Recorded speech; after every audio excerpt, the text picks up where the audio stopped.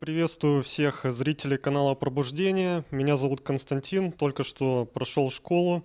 Что хочу сказать? Ну, во-первых, это школа находится на переднем крае, на фронтире исследований мироздания. Вот тут даются такие знания, информация, которая передний край всех этих исследований. Если вас интересуют какие-то исследования, то вам точно явно сюда.